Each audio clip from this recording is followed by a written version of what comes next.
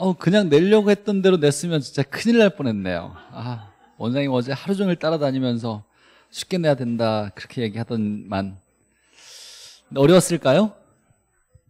어려웠어요? 음. 자, 한번 보죠. 어떤 문제가 어려웠고, 어, 자, 한번 해석해보죠. 일단은 이제 우리 시험 보고 앉아서 해설 강의까지 들었는데 답을 찾는 건 중요한 건 아니에요. 내가 시험 봤을 때 느낌을 잘 기억해놨다가 왜 내가 배웠는데 이걸 체크했을까? 어, 이거 아니었는데 이거 왜 실수했을까? 이런 느낌을 찾아서 다음에 실수하지 않도록 잘 체크해놓고 다시 한번 집에 가셔서 풀어보셔야 돼요. 답은 몇 번이냐는 중요하지 않아요. 자, 한번 보죠.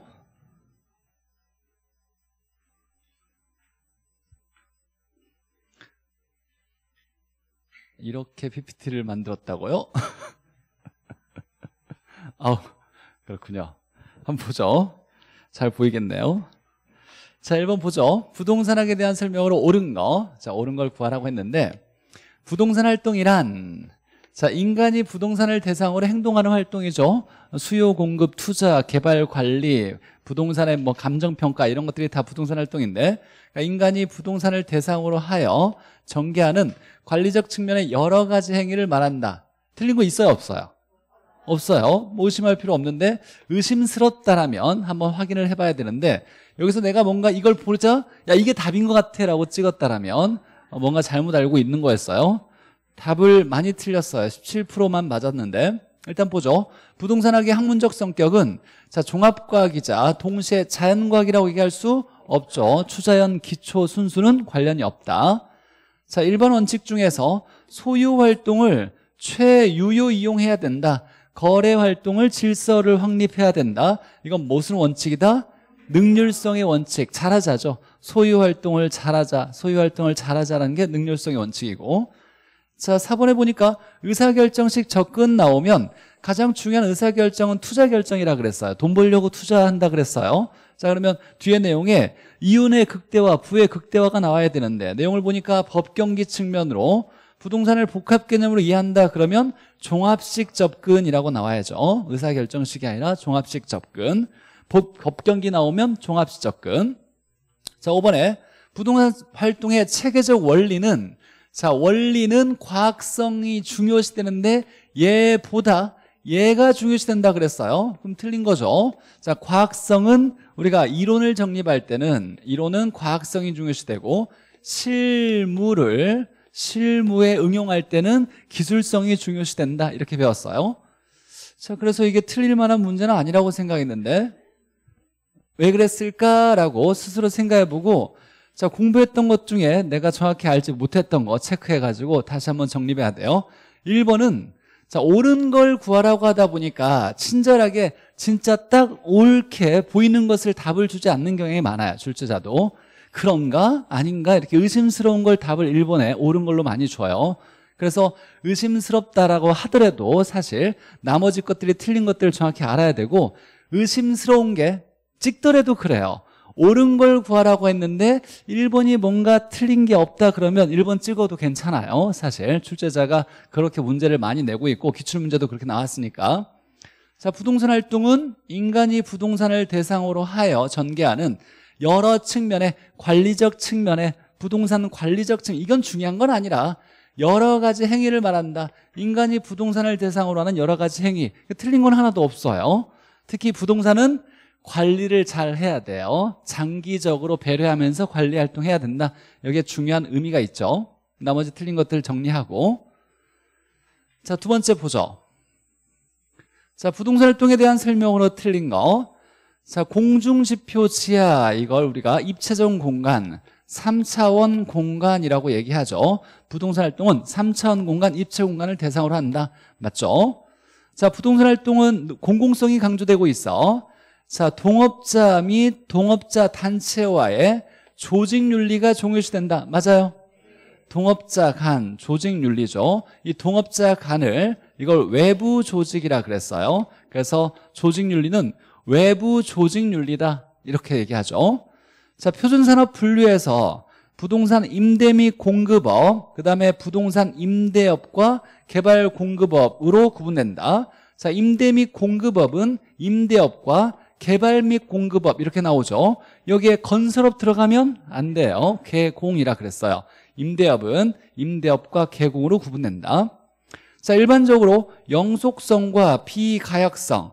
자, 없어지지 않고 얘가 한 번 잘못되면 되돌리기가 어려우니까 자, 일반 소비상품과 대상으로 달리 장기적인 배려하에 결정된다. 맞죠? 없어지지 않으니까 장기적으로 한 번 잘못되면 되돌리기 어려우니까 장기적 배려해야 되는 근거가 영속성과 비가역성이라 그랬어요. 자, 5번에 자, 부동산 관련 서비스업에는 투자 자문업 가, 가능해요? 중개 및 자문업이 아니라 중개 및 뭐예요? 어, 이거 지문이 그렇게 나와 있어요? 그렇게 나와 있어요? 아, 진짜로? 자, 그러니까 관련 서비스업의 투자 자문업, 중개 및 대리업 나와야 되는데 중개 및 대리업, 기타 부동산 관리업은 돼야 안 돼요? 일단 얘는 들어가는 건 아니죠. 근데 사실 얘는 의도한 건 아니었는데 중개 어차피 틀린 거니까 중개 및 대리업이 들어갔죠. 중개 및 대리업이 들어가야 되고 자 그다음에 관리업이 있을 때 앞에 부동산 관리업은 맞지만 기타 부동산이나 이건 안 되죠. 기타 부동산은 시설을 얘기한다 그랬어요. 그래서 5번이 틀렸고 항상 관리업 앞에 있을 때는 어떤 부동산인지 잘 봐야죠. 여기에 주거용, 비주거용만 해당되고 기타 부동산이나 시설의 관리업은 해당 사항이 없다. 이렇게 해석해야죠. 그래서 서비스업에는 자문업, 그 다음에 중개 및 대리업, 감정평가업이라는 기타 서비스업과 관리업이 있는데 관리업은 기타와는 관련이 없다. 이렇게 해석해야죠. 5번이 틀렸고. 자, 이것도 뭐 이건 많이 맞았어요.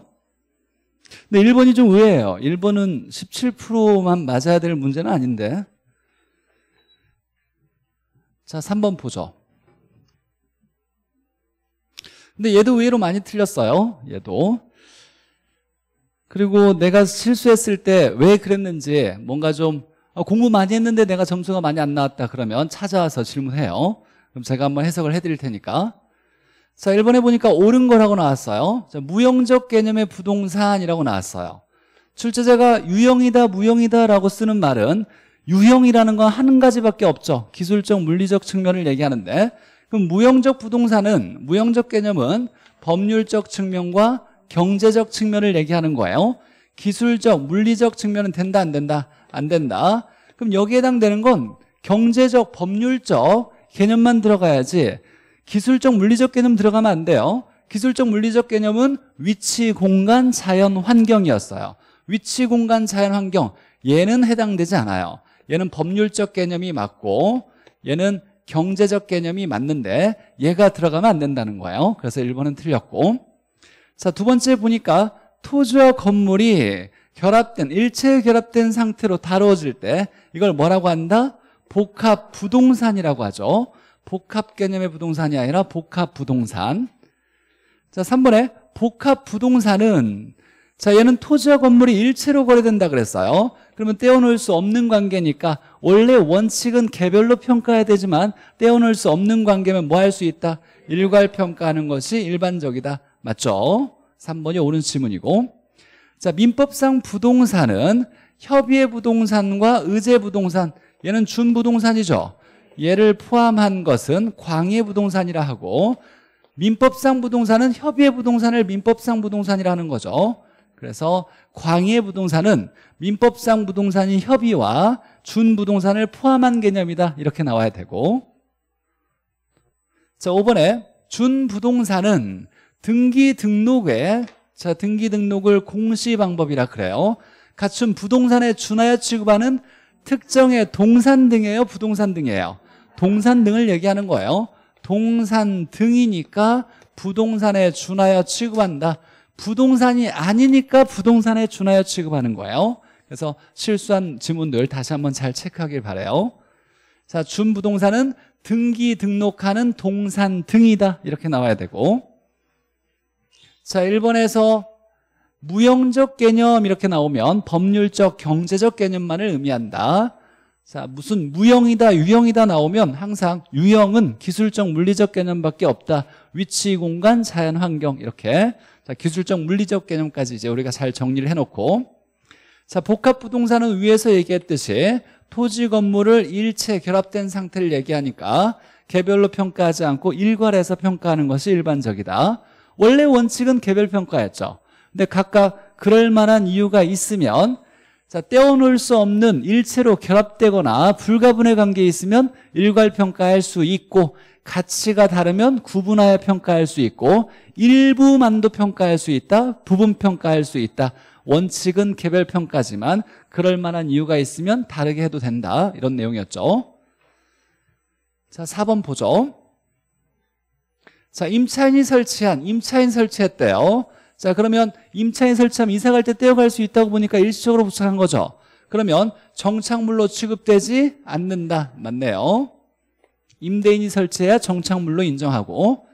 자 건물에 부착된 물건을 기능적 효용적 손상 없이 자 손상 없이 제거할 수 있었대요. 아무 문제 없이 떼어냈다는 건 붙일 만한 이유가 없었다를 보는 거예요. 없었다라고 보는 거예요 그럼 정착물로 취급되지 않는다 맞네요 자, 명인 방법으로 소유권이 구분된 수모. 명인 방법으로 소유권이 구분됐으니까 얘는 토지와 별개의 정착물로 인정되는 독립 정착물이 될 거고 등기된 임목도 독립 정착물이죠. 자, 그래서 토지와 다른 독립된 정착물로 취급된다. 맞네요.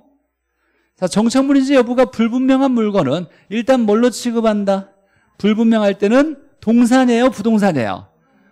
정착물로 취급하는 거죠. 정착물로 정착물인지 아닌지 불분명할 때는 정착물로 간주하여 부동산 취급하는 거죠 부동산 취급하여 부동산을 거래할 때 누구에게 넘겨준다? 매수인에게 넘겨주는 것이 일반적이다 나중에 이제 법리를 해석해서 야 얘는 정착물이 아니라 동산이었어 라고 확인되면 떼어올 수 있다 그랬어요 그래서 일단 정착물인지 불분명한 물건은 일단 정착물로 취급하여 매수인에게 넘겨주는 게 이게 일반적인 원칙이다 그래서 4번이 틀렸고 자 토지에 정착되어 있으나 매년 경작 요력을 요하지 않는 자 매년 경작의 노력을 요하지 않는 나무나 단형생 식물은 정착물 맞죠?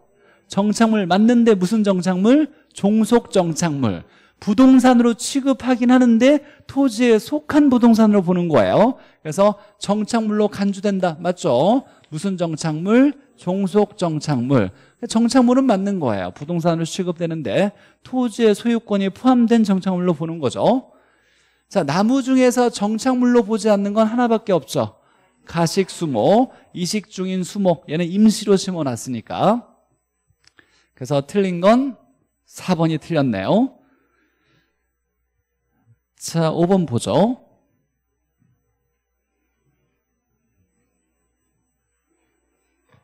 자, 사적 공중권에는 자, 개인 권리가 인정되는 공중권이에요. 개인의 권리가 인정되는 공중권에는 일조권, 조망권, 용적률 등이 포함된다. 맞죠? 자, 용적률 특히 중요하죠. 개인 권리가 인정되는 공중 공간을 개발할 수 있는 거. 여기에 개발권 양도제, 용적률 인센티브 제도가 관련된 거고 자, 개발권 양도제 등은 토지용에 대한 형평성을 개선하기 위한 공중공간의 활용 방안이다. 맞아요? 개발권은 용적률을 얘기하는 거죠. 개발하지 못하게 한 만큼을 개발권으로 줄 테니 이걸 거래해서 보상받아라. 근데 개발 지역에서는 개발할 수 있는 권리가 된다. 용적률을 얘기하는 거예요. 그래서 개발권은 용적률이고 형평성을 개선한다는 건 규제 지역과 보전 지역에 자, 규제 지역이 있고 개발 지역이 있는데 자, 규제 지역은 보전 지역이라고 하죠. 개발하지 못하게 해서 여기에 손해를 보는데 그러면 이 토지 소유자와 이 토지 소유자의 형평성에 문제가 생겨요. 개발하지 못하게 했으면서 보상을 안 해주니까 원래는 5층까지 건물을 지을 수 있었는데 너는 더 이상 짓지 말고 1층만 지어라. 그래서 손해보는데 보상을 안 해주니까 이 토지와 이 토지의 소유자 간의 형평성에 문제가 생겨요. 그래서 여기서는 개발하지 못하지만 못하게 한 만큼의 용적률을 어떤 권리로 개발권이라는 권리로 인정해 줄 테니 여만큼 해당되는 걸 이쪽에 팔아서 양도해서 보상을 받게 하는 제도죠. 이쪽에서는 개발할 수 있는 권리가 되는 거죠. 이걸 개발권 양도제라고 하죠. 그러나 한 번도 실시된 적은 없는 미실시 제도죠. 그래서 형평성을 개선하기 위한 공중공간의 활용 방안이다. 맞죠? 자, 규제 지역과 개발 지역 간의 형평성을 개선하기 위해서 이렇게 우리나라 토지에서 어떤 지역은 규제됐고 어떤 지역은 개발할 수 있는 지역이라고 토지의 이용을 규제를 다 해놨어요. 무슨 제도에? 가장 기본적으로. 지역지구제죠. 그래서 지역지구제의 토지용 규제에 대한 형평성 문제를 해결하기 위해서 형평성의 문제를 해결하기 위해서 도입된 제도가 개발권 양도제인데 얘는 아직 한 번도 실시된 적이 없다. 미실시 중이다. 이런 내용이었죠. 그래서 개발권 양도제는 언제나 지역지구제와 같이 다녀야 되는 거예요. 개발권 양도제는 지역지구제의 문제, 단점을 해결하기 위해서 도입된 제도다. 자 3번에 토지 소유권에서 한계심도 이내라 그랬어요 한계심도 안쪽에 있는 자 미채굴 광물에 대한 권리는 포함되지 않는다 자, 지하수는 권리가 인정되지만 미채굴 광물에 해당되는 석탄, 석유는 토지 소유권 내에 있더라 하더라도 권리가 인정되지 않는다 그랬어요. 광업법에 의해서 별도로 권리가 인정되는 거고. 자, 일반적으로 물을 이용할 수 있는 용수권이라 그랬어요. 이 용수권은 이 물은 뭐냐면 지표의 물을 끌었을 수 있는 권리예요. 그럼 얘는 지중권이에요, 지표권이에요. 지중권은 지하권을 얘기하는 거예요. 그러니까 지중권이 아니라 용수권은 지표권에 해당된다 라고 중요하다고 작년에 감정평가사 시험에 나와서 많이 틀렸다 그랬어요. 그래서 용수권은 지표면에 해당되는 권리다. 4번이 틀렸고 정부가 공익사업을 위해서 한계심도 한계심도 이내에서 타인의 지하 공간을 활용할 경우 자, 한계심도 이내니까 사적 지하권이 인정되는 곳이에요. 사적 지하권이 인정되는데 여기에 공간을 활용하니까 이용 저해율에 따른 보상하여야 한다. 보상받을 수 있는 거죠. 근데 한계 심도보다 더 아래에서는 이건 정부 거니까 보상받을 수는 없는 거고 나머지는 맞고 4번이 틀렸네요. 6번 보죠.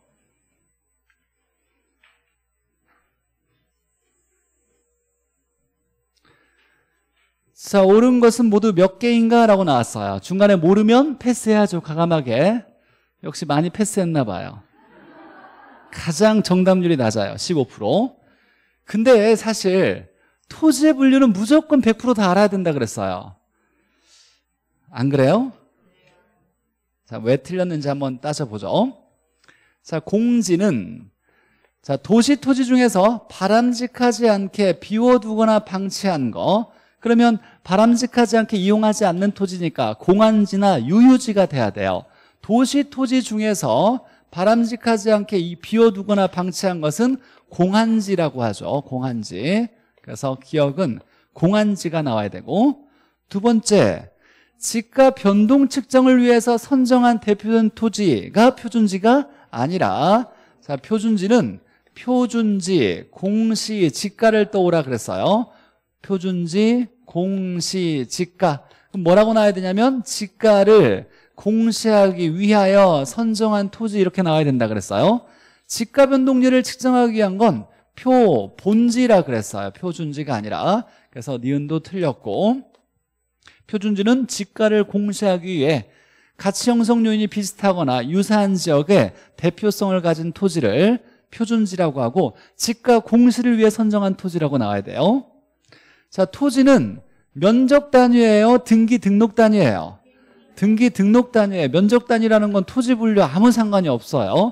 면적 단위는 제곱미터나 평을 얘기하는 거지 토지의 분류와 상관없고 필지가 나오면 무조건 등기 등록 단위다. 등기 등록할 때는 필지별로 등기 등록한다. 등기 등록 단위라고 나와야 돼요. 하나의 지번이 부여되는 등기법상의 중요한 개념은 맞는데 면적 단위라는 말은 절대로 쓸 필요 없어요. 토지 분류와 관련이 없고. 자, 건축 규제가 강화되어서 건폐율이 하향되었대요. 자, 규제가 강화됐다. 건폐율이 하향되었다. 맞죠? 그럼 건축 바닥 면적을 좁게 지으라는 거예요. 그러면 공지의 면적은 어떻게 한다? 늘어난다. 그래서 감소한다, 줄어든다가 아니라 늘어난다. 이렇게 나와야 돼요. 자, 여기까지는 다 틀렸고. 자, 빈지는 바닷가 해변 토지를 얘기하는데 등기부는 없지만 활용 실익이 많은 토지라 그랬죠. 그래서 소유권 인정돼야 안 돼요. 인정되지 않지만 활용 실익이 많은 토지를 해변 토지를 빈지라고 나와야 돼요. 소유권이 인정되지 않지만 활용 실익이 많아야 돼요. 소유권이 인정되지만 활용 실익이 거의 없는 토지는 법지라고 하고 자 정확히 좀 구분해야죠. 여기에 소유권이 인정되지 않고라고 나와야 돼요. 자 공부상에 등록된 토지가 공부상에 전이나 답으로 등기됐는데 자 집안이 무너지거나 침식되어서 여러 이유가 있는데 자 결국 수면 밑으로 잠긴 토지 나오면 포락지 맞죠? 바다에 잠겼다, 하천에 잠겼다, 강에 잠겼다, 물 밑에 가라앉았다 다 포락지죠. 그래서 비읍은 맞고 자 임지, 농지, 택지 이걸 우리가 용도 지역이라 그래요. 그래서 용도 지역 내에서 세부 지역 간에 전환되고 있는 이라는 말이 나왔어요.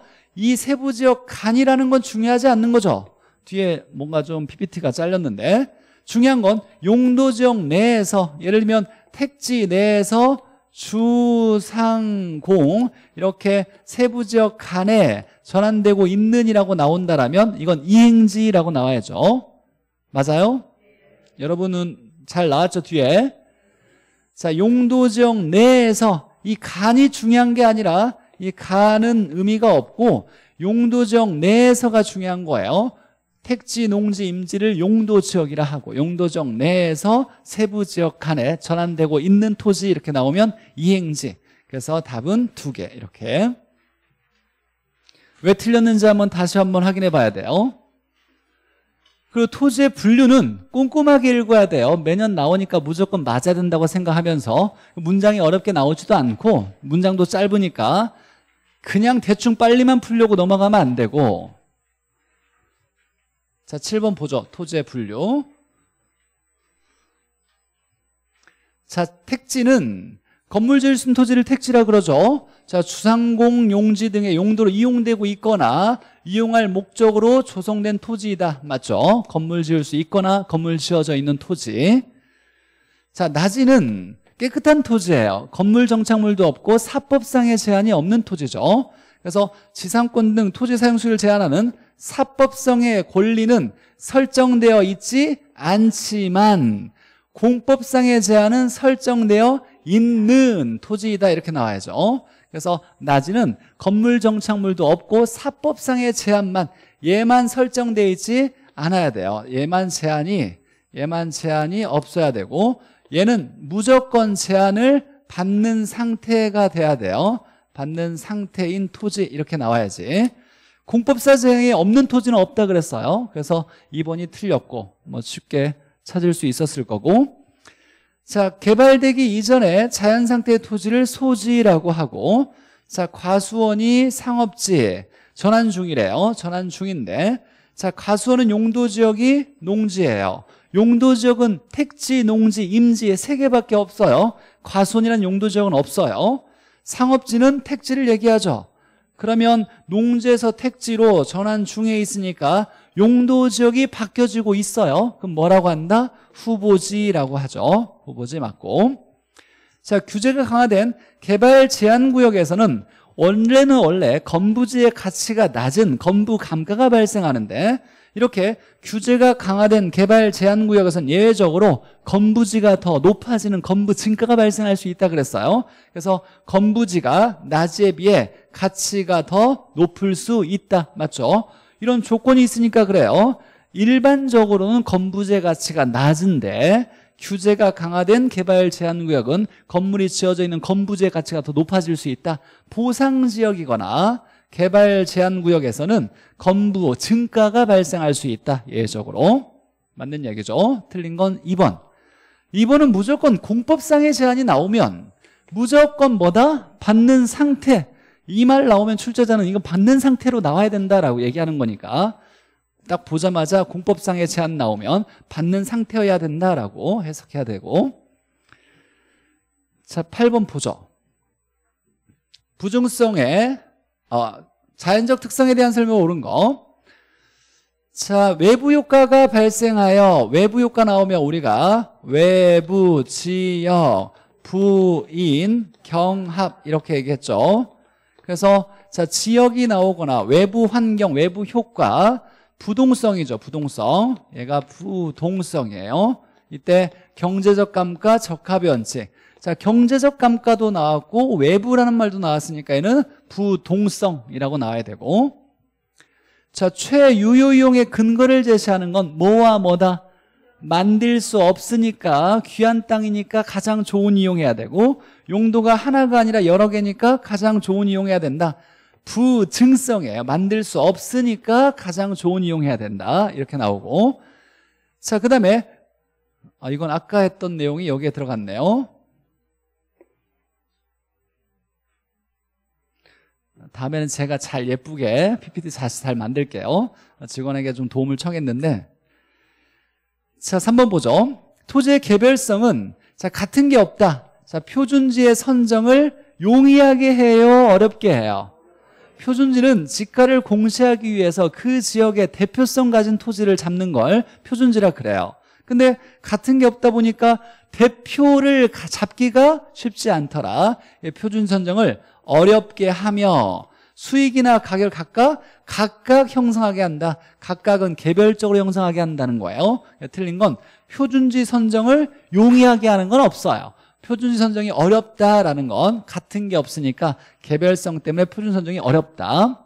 자 모르겠다 한다라면 일단 넘어가서 다른 거 좀 확실한 걸 찾아야죠. 자, 4번 보죠. 영속성은 장기 투자를 통해서 자, 영속성은 길게 투자했을 때 자, 소득이득과 자본이득을 동시에 얻을 수 있다. 맞죠? 소득이득은 임대료 수입이고 자본이득은 처분할 때의 가치 상승분을 얘기한다 그랬어요. 뭐 4번은 전혀 문제될 게 없어요. 영속성의 가장 중요한 성질이었어요. 영성으로 소득이득과 자본이득을 동시에 얻을 수 있게 한다. 4번이 옳은 지문이고 뭐 많이 맞았고 자 지리적 위치의 고정성으로 자 이건 지리적 위치 눈에 보이는 위치가 고정됐다. 위도 경도가 고정됐다를 얘기하는 거예요. 부동성을 얘기하는 거고 부동성에 의해서 물리적 위치는 변한다 안 변한다? 불변이다 라고 나와야죠. 가변적이다가 아니라 불변이다. 그래서 옳은 건 4번이 옳은 거고 8번에 옳은 건 4번.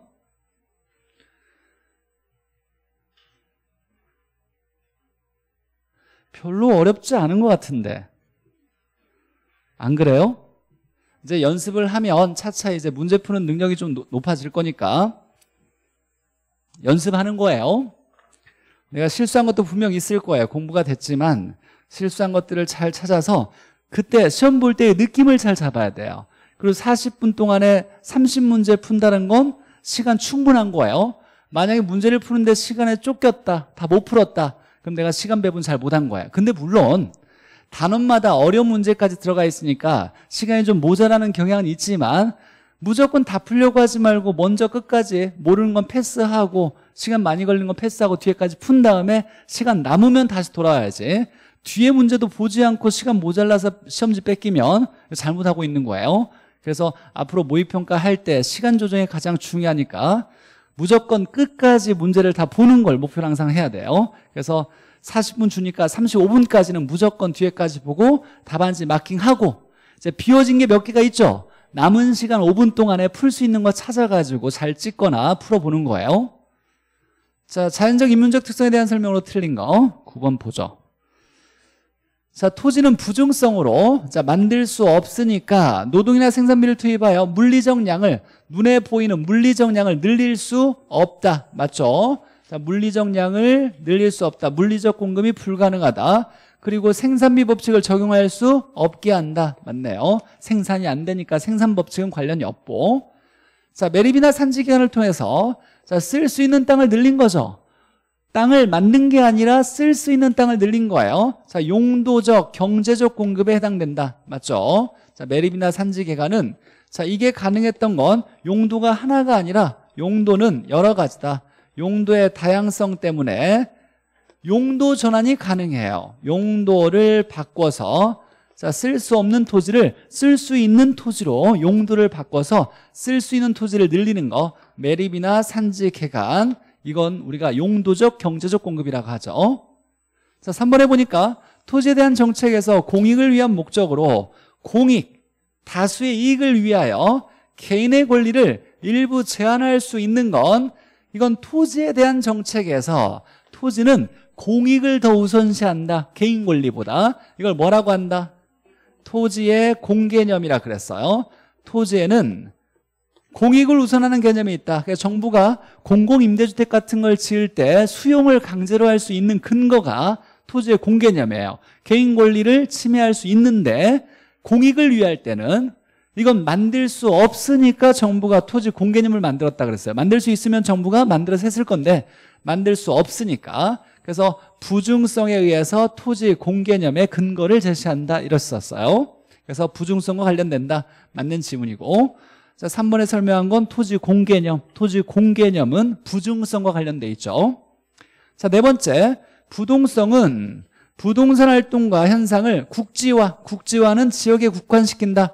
지역화와 똑같다 그랬어요. 그래서 지역별로 부분시장, 지역별로 부분시장. 이 부분시장은 지역시장을 얘기하는 거예요.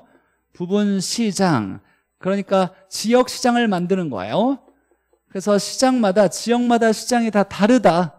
지역에 국한된다. 지역마다 다른 시장을 만든다. 이건 지역에 대한 얘기니까 뭐다? 부동성 맞죠?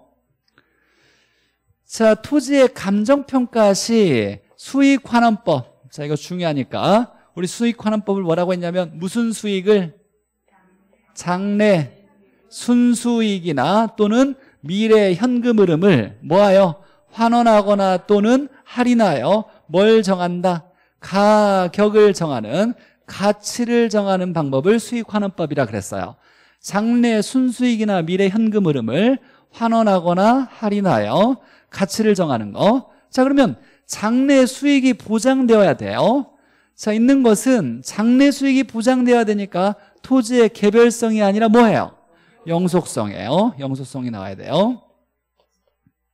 이 수익이 장래 수익이다. 장래 수익을 자, 이건 어떤 개념으로부터 비롯된 감정평가 방법이냐면 가치의 개념에서 비롯됐다 그랬어요. 가치는 장래 편익을 현재 값으로 환원한 값을 가치라 그랬어요. 그러니까 장래 수익이 보장돼야 현재 값으로 바꾸는 가치라는 거 쓸모 있는 정도가 인정되는 거고 이 가치라는 개념으로부터 만들어진 감정평가 방법이 수익 환원법이에요. 장래 수익을 끄집어야 되니까 장래 수익이 보장되려면 토지는 없어지지 않으니까 언제나 장래 수익이 보장된다 이런 개념이 들어가야 돼요. 영속성 이렇게 나와야죠. 5번은 영속성이고 자, 10번 보죠.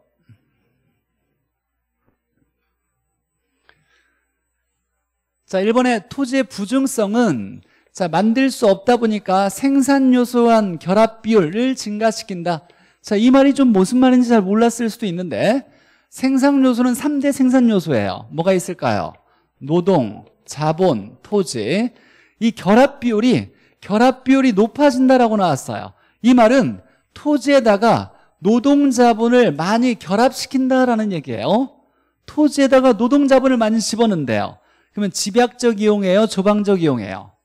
집약적 이용 얘기하는 거예요 이건 집약도를 얘기하는 거고 그래서 자 집약도가 높아진다라는 거예요 부증성은 만들 수 없다 보니까 토지가 유한하고 희소해요 그래서 서로 차지하려다 보니까 땅을 집중적으로 이용한다 그랬어요 집중적으로 이용하는 걸 뭐라고 한다? 집약도가 높아진다 집약적 이용을 한다 이렇게 표현하는 거예요 그래서 생산 요소 간 결합 비율 이 말은 뭘 얘기한다? 집약도를 얘기한다. 이렇게 체크해놔야 돼요. 처음 들었어요? 아, 예전에 얘기해 줬었어요? 물론 이제.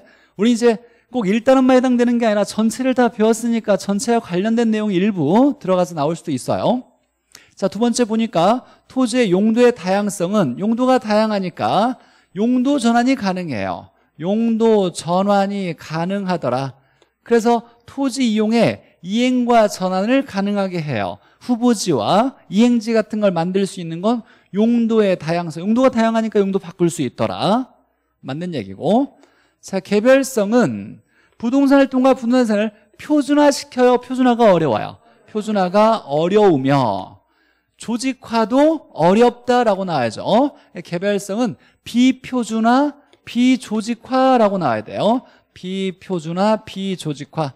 표준화란 건 같은 것끼리 묶는 걸 얘기하는 거예요. 같은 것끼리 묶기가 어려워서 조직을 만들기도 어렵다라고 얘기하는 거죠. 3번이 틀렸고. 자, 부동성은 지자체 조세 수입의 근거가 된다. 맞죠? 그 지역 내에 이렇게 토지가 고정되어 있으면 다른 지자체에 낼 수가 없다 그랬어요. 그 지자체에 세금을 낼 수밖에 없는 거죠. 움직이지 않고 그 지역에 국한되니까 그래요. 고정돼 있으니까. 맞는 얘기고. 자, 영속성 때문에 임대차 시장, 우리가 임대료 수입, 소득 이득을 얻을 수 있게 했던 것이 이게 영속성이었어요. 임대차 시장을 발달시키고 자, 재고 시장, 쓰던 걸 없어지지 않다 보니까 쓰던 걸 거래하는 중고 시장을 발달시킨다. 이렇게 얘기할 수 있다 그랬죠. 나머지는 맞는 거고. 자, 3번의 개별성으로 표준화 어렵고 그 다음에 조직화도 어렵다. 중요한 얘기죠. 자, 10번까지 받고 뭐 틀릴 만한 문제는 딱히 없었는데 뭐 두 문제 정도는 좀 틀렸다고 치죠. 11번 보죠.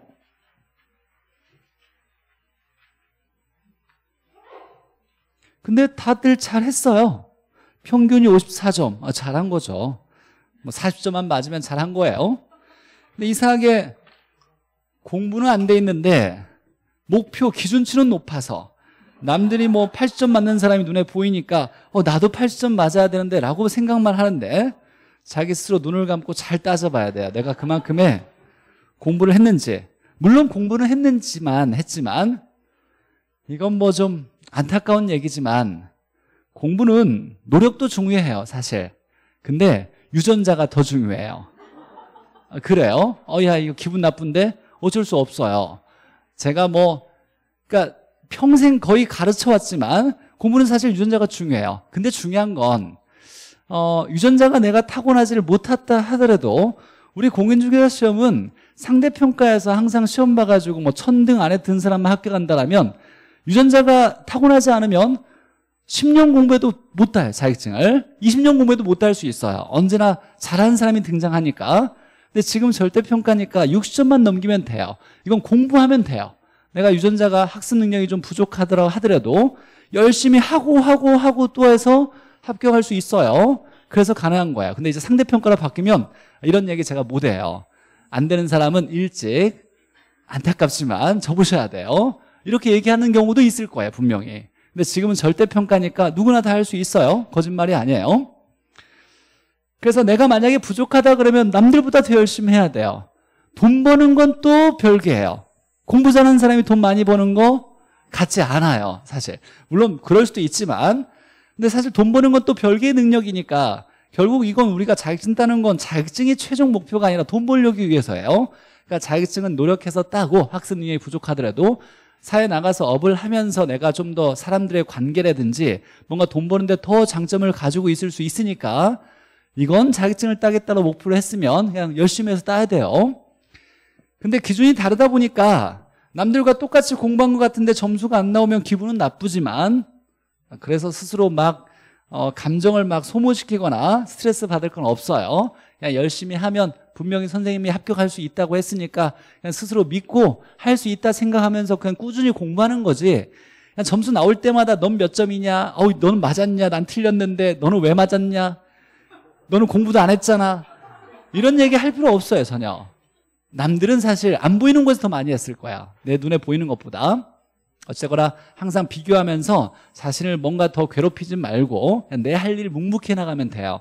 그리고 김포는 다른 데 비해서 가장 최적화된 합격하는데 다른 거에 사실 중심이 아니라 합격을 시키기 위한 중심으로 모두 다 구성되어 있어요. 커리큘럼이나 선생님 수업들이 다.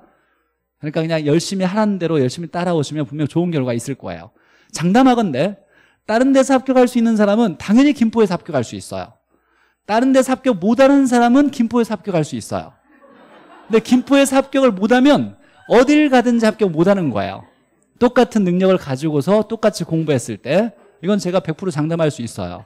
좋은 학원 온 거고 그냥 단원 평가를 30문제씩 한다라면 돈 들여서 특강까지 들었으니까 한 번 보고 넘기지 말고 이제 열심히 해야 될 건 뭐냐면 수업 듣고 시험 풀었으니까 틀린 거 다시 내 걸로 만들고 다음 시험도 준비해야죠.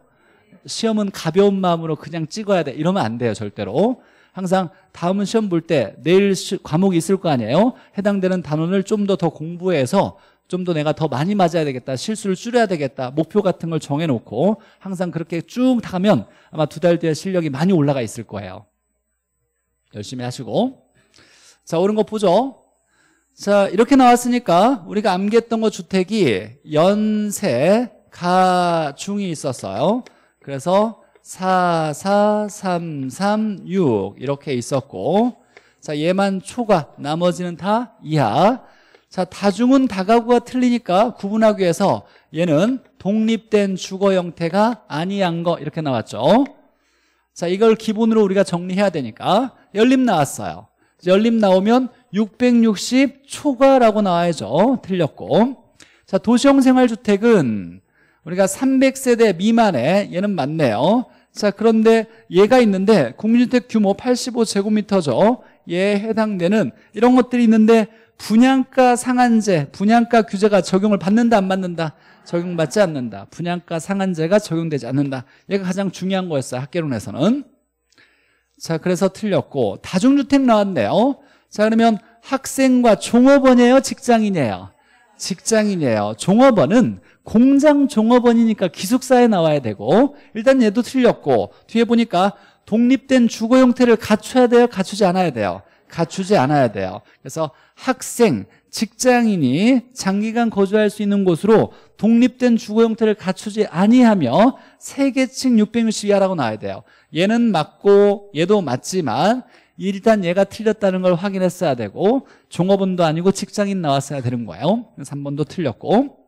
자 4번에 세대 구분형 공동주택 아파트인데 여러 세대가 나눠 살 수 있는 구조로 만들었다 그랬어요.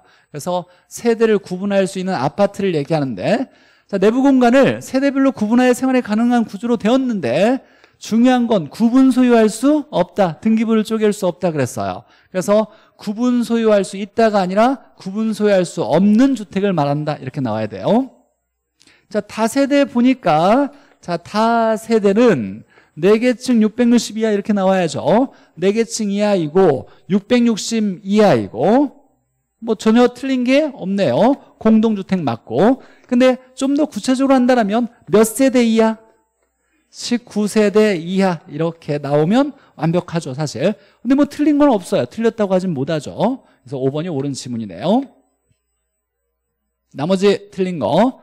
세대의 구분형은 위에는 맞지만 구분 소유할 수 없다. 도시형 생활주택은 분양가 규제 받지 않는다. 다중주택은 독립된 구조가 아니다. 이렇게 가장 중요한 것들 포인트를 한번 정리해 봤고 자 12번. 엄청 많이 틀렸어요. 보너스인데. 왜 틀렸을까요? 한번 보죠. 아 그리고 이제 실수였어요 라는 말을 많이 하잖아요. 근데 잘 또 생각해 봐야 돼요. 진짜 실수로만 얘기하고 싶은 거냐? 진짜 내가 실수한 거냐? 몰랐던 거냐? 잘 따져봐야 돼요. 어 답을 선생님이 드니까 알겠어 그러면 아는 거예요? 모르는 거예요? 아는 거 아니에요 그거. 그냥 알아듣는 거지 집에 가서 머릿속에 담아두는 게 아는 거예요? 그래서 내가 만약에 실수했다라면 이걸로 끝나는 게 아니라 이 공부하는 이유가 실수했지만 내 머릿속에 들어가 있지 않구나 들어가 있지 않아서 틀린 거예요. 그래서 잘 머릿속에 담아놓고 이런 문제 나올 때 주의해야 되겠다. 저랑 나오면 제 자가 통부인이죠 자 일단은 제자가 통부인을 저량을 구해야 돼요 자 자산, 통화량 자 그 다음에 여기에 가액은 뭐예요? 가격 얘기하는 거죠 자 일단 세 개는 구했어요 제자가 통부인 자, 근데 이제 보니까 부채 서비스액이라고 나왔어요. 부채라고 나온 게 아니잖아요. 부채 서비스액은 뭘 얘기하는 거예요? 원리금 얘기하는 거죠. 현재 원리금이에요? 1년 동안 원리금이에요? 일단 부채 서비스에 이자가 들어가잖아요. 이자 생각해봐요. 연이자, 원리자예요? 현재 이자예요? 연이자, 원리자 이렇게 나오는 거잖아요. 자, 얘는 원리금 얘기하는데 일단 한번 잘 생각해봐요. 얘는 영업, 현금, 수지에서 배웠던 거예요. 가공기, 유비, 순, 부채, 전세, 후조. 이 영업 현금 수지는 영업하면서 돈이 들어오거나 나가거나 하는 걸 몇 년 동안, 1년 동안, 1년 동안 들어오는 수입의 돈의 흐름이에요. 말이 없으면 단위는 1년 잡았던 거예요. 1년 동안의 돈의 흐름을 영업 현금 흐름이라 그랬어요. 그럼 영업 현금 수지에 있는 가공기, 유비, 순부채, 전세료는 다 1년 기간 동안의 양을 얘기하는 거예요. 그래서 얘는 유량을 얘기하는 거예요. 일단 부채를 얘기한 게 아니다. 부채는 대출금 대부액을 얘기하는 거예요. 부채 서비스액과 부채는 같아요, 달라요? 전혀 다른 얘기예요. 그래서 디귿은 틀렸고 자 거래량은 수요 공급 수요량 공급량 대표적인 수요 공급 일어나면 거래 이건 대표적인 유량이죠 유량인지 찾아야 되고 자 수입과 지출 수입과 수입과 지출이 나오면 이걸 수지라고 얘기하고 대표적인 유량이죠. 자 그 다음에 이제 CO2 한번 알아야죠. 인구 나오면 이건 저량인데 인구가 변하는 값이라고 나왔어요. 현재 인구수가 10만이다. 그럼 맞아요. 현재 인구수. 근데 인구 증가량, 인구 변동분이 1만이다라면 1년 동안 인구 증가량, 1년 동안 인구 변동분 이렇게 나와야 돼요. 그래서 저량이 변하는 값과 붙어져 있는 변동분과 붙어져 있는 단어가 나오면 이건 뭐가 된다? 유량이 된다 그랬어요. 이거 모의고사에서도 계속 나왔던 얘기예요. 자 그래서 얘는 유량이다. 인구 나오면 저량이지만 인구 변동분 나오면 유량이에요. 틀릴 수 있어요. 틀려도 괜찮은데. 다음에 틀리지 않아야 될 거. 일단 이런 거 나오면 물론 우리 시험 문제 여기까지 나온 적은 없지만 일단 이 정도는 해석할 수 있어야 돼요 우리 학기론에서 가장 중요한 투자론의 영업현금 흐름이었어요. 여기에 나오는 가공기, 유비, 순부채, 전세호는 모두 다 뭐다? 유량 개념이에요. 왜냐하면 1년 동안 측정되는 소득이나 지출을 얘기하는 거니까. 맞아요? 여기에 가능 총소득 나와도 유량. 여기에 어, 영업소득세 나와도 유량. 이렇게 나와야 되고 그 다음에 뭐 여기에 세전 현금 수지 나와도 유량 이렇게 나와야 되는 거예요. 여기 나오는 건 다 1년 동안의 돈의 흐름이니까. 자 그리고 얘 하나 주의해야죠. 저량이 변하는 값과 연결되면 유량이다.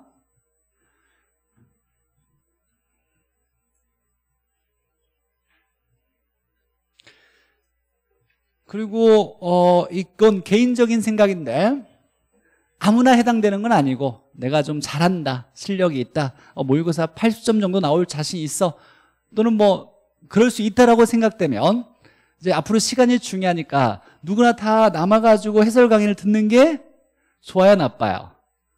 아, 좋을 수 있는데 사람마다 좀 다를 수 있어요. 이거 뭐 해당되는 사람이 많은지 어쩐지는 잘 모르겠지만 대부분 안다라면 사실 집에 가셔서 필요한 문제만 설명을 듣는 게 오히려 더 효율적일 수 있어요 근데 내가 만약에 문제에서 만약에 10문제 이상 틀렸다. 그러면 수업을 듣는 게 좋고 만약에 한 세네 문제만 항상 틀린다. 그러면 집에 가서 잘 정리하고 설명 이해가 안 되거나 그런 것들만 문제를 찾아서 보는 게 효과적일 수 있어요.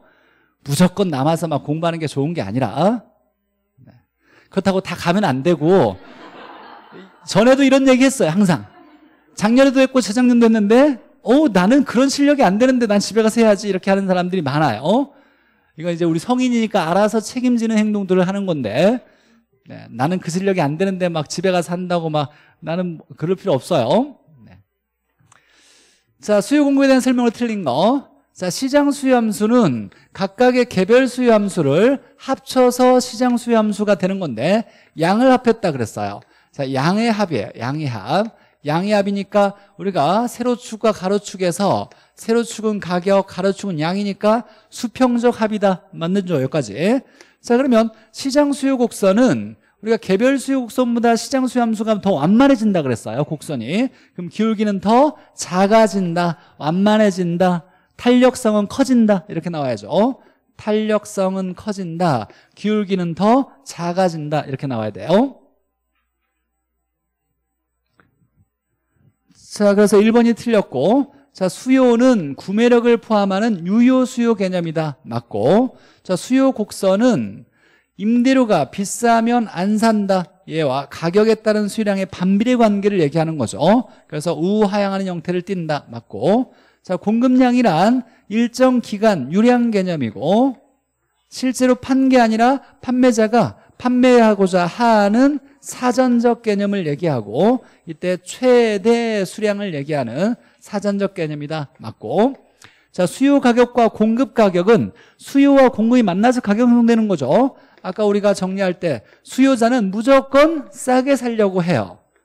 공급자는 무조건 비싸게 팔려고 해요. 그럼 공급자의 최고 가격과 수요자의 최저 가격 만나지 못하는 거예요.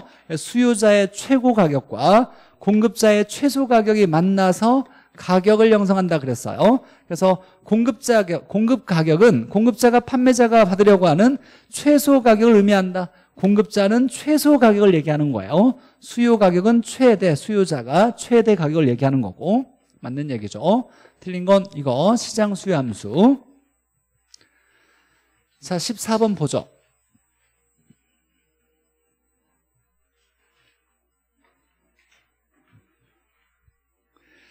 14번도 많이 틀렸고 왜 틀렸는지 한번 해석해 보세요. 15번 보죠. 근데 아 14번 14번. 변별력이 있는지 잘 모르겠어요. 왜 이렇게 많이 틀렸는지 이런 것들이. 자 동일한 임대료 수준에서. 자 이 지문 한번 볼게요. 예전에 모의고사에 냈던 지문이에요. 임대료가 변하지 않는데죠.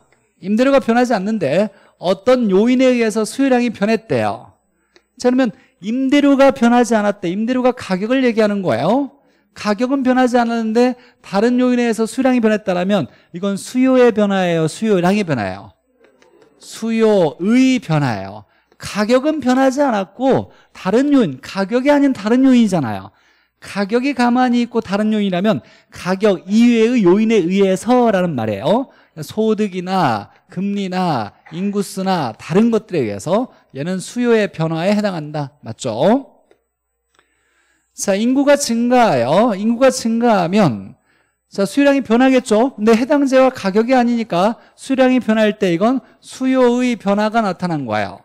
자 그러면 수요 곡선이 이동하는데 이동은 하는데 인구가 증가하니까 당연히 소비자 수가 많아졌으니까 수요가 우측으로 간다. 맞네요 자 LTV가 하향 조정되면 LTV가 줄어들면 대출금이 줄어드는 거예요. 대출금이 줄어들 거고. 자 그러면 얘는 그 재화의 가격이 아니라 정부 규제에 의한 거니까 수요의 변화니까 곡선이 이동하는 건 맞죠? 대출금이 줄어드니까 수요가 감소 좌측으로 이동한다. 맞네요. 자 주택 가격이 상승하면 상승했대요. 자 그러면 수요량이 변할 거예요 근데 해당재와 가격에 의해서 수요량이 변했으니까 이건 수요량의 변화. 그럼 곡선 상에서 이동하는 거죠. 점이 이동할 거예요. 곡선상에 점에 이동할 건데. 자 비싸면 산다 안 산다? 안 산다. 수요량이 줄은 거죠. 자 가격이 비싸졌으니까 수요량이 줄어요. 자 그러면 수요 곡선에서 가격과 양이니까 양이 줄었으니까 왼쪽 가야죠. 근데 곡선을 따라서 왼쪽 가야 돼요 곡선을 따라서 왼쪽으로 가면 이렇게 가겠네요. 이걸 어떻게? 좌상향으로 이동한다. 곡선 상에서 좌측으로 이동한다. 좌상향으로 이동한다. 이렇게 얘기할 수 있겠네요. 중요한 건 곡선을 따라서 이동해야 되는 거예요. 그래서 4번까지는 맞고.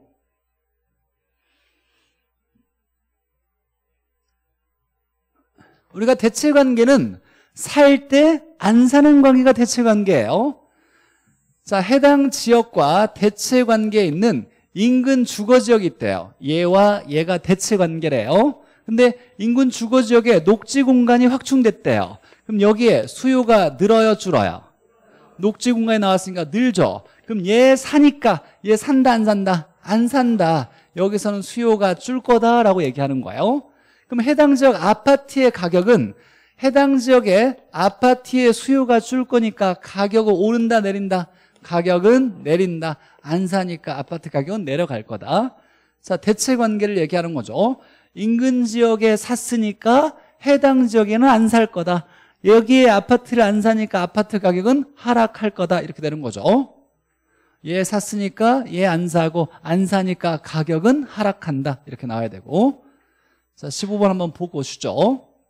자, 우리가 중요한 문제라고 여러 번 말씀드렸던 문제고 그래도 50% 넘었어요.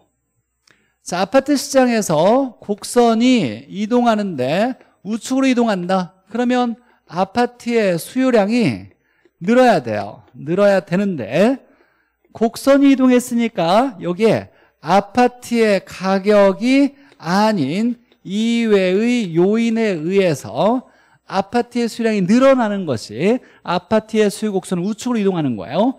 이걸 우리가 수요의 변화라고 했고 수요의 변화가 일어나서 곡선이 이동하는 거고 우측으로 이동했으니까 수요량이 늘어야 곡선이 우측 이동하는 거죠. 자 이렇게 됐을 때 일단 그러면 아파트의 가격은 절대로 곡선을 이동시키지 못하죠. 첫 번째 아파트 가격이 내리든 오르든 얘는 절대로 답이 될 수 없다. 자 그리고 수요를 얘기했어요. 공급과만 관련 있는 게 생산 요소의 가격, 공급자 수, 생산 기술 이건 공급과만 관련 있는 거죠. 봤더니 건설업체 수는 공급자를 얘기하는 거죠. 공급자 수가 증가됐다고 얘기하는 거니까 얘는 공급과만 관련 있지 수요와 관련 없어요.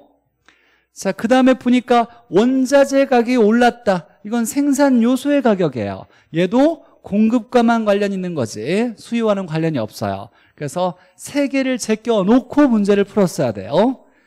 지금 얘는 수요에 대한 얘기니까 공급과만 관련 있는 거 공급자 수, 생산 기술, 그 다음에 생산 요소, 원자재 가격 같은 거 이런 것들은 공급과만 관련이 있다. 그래서 얘는 수요량의 변화니까 제끼고 수요량의 변화니까 제끼고 얘 두 개는 공급의 변화 요인이니까 공급 변화 요인이니까 제껴놓고 나머지 해석해보죠. 자 가격이 오를 거라고 기대했대요. 그럼 산다 안 산다? 산다. 그럼 수요 곡선이 우측. 금리가 하락하면 대출 받기가 쉽겠죠. 산다. 자, 대체 관계의 오피스텔 가격이 올랐대요. 오피스텔 산다 안 산다? 안 산다. 오피스텔 안 사고 아파트 산다. 아파트 사니까 아파트의 수요 곡선은 우측으로 이동한다. 보완제라는 다른 제어가 있대요. 뭐 얘가 A라는 제어가 있다라면 얘 가격이 하락했대요. 그럼 얘 산다 안 산다? 산다. 그럼 얘 살 때 얘와 아파트가 보완제니까 아파트도 산다. 아파트 산다니까 아파트의 수요 곡선 우측으로 이렇게 이동했네요. 어려운 문제죠 사실. 자, 한 문제 여러 가지가 들어 있으니까 그래서 사는 것은 하나, 둘, 셋, 네 개 되겠네요. 이렇게. 자, 쉬었다가 16번부터 보죠.